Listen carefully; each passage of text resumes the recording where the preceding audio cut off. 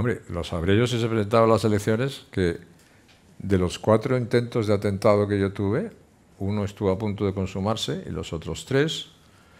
que fueron el lanzamiento, intento de lanzamiento de misiles contra el avión en el que yo iba, uno en el aeropuerto de Vitoria, otro en el aeropuerto de Bilbao y otro en el aeropuerto de San Sebastián, los misiles estaban guardados por un concejal de Batasuna